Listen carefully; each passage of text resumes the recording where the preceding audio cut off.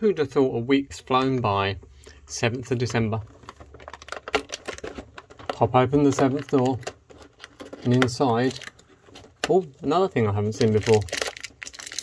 These ones are called... Oh, Merry Christmas. We had Merry Christmas. Those are just two colours of Merry Christmas. The other one was yellow. This one's blue. That's blue Merry Christmases?